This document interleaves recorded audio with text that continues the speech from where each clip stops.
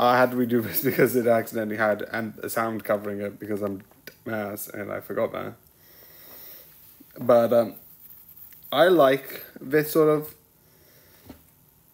episode because this series because yes, it has anime has to be anime type of moments, but I'm just gonna.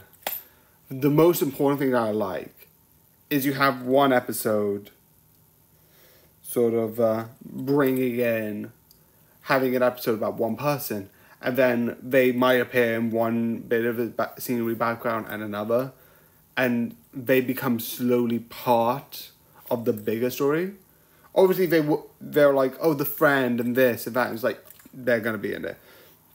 But i like each a couple of people have one episode. You still have the main focus on the protagonist but you have like one episode that deals with this sort of like like in, the mid there's one at the beginning but he doesn't do much and i'm not going to say which episode it is but later on there's an episode that shows his strength alongside the protagonist alongside a couple of others and i like that idea and you slowly get these like things that like you get a story you get an arc of like here's uh, someone growing and improving but a lot of it is here's this, tackle this.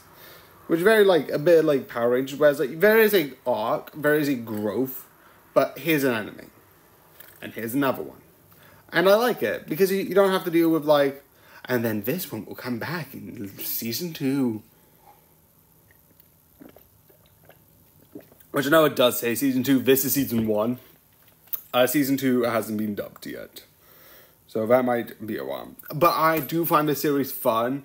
And I think it's the, a free potter of sorts near the end where it finishes that I absolutely love and I think is absolutely amazing.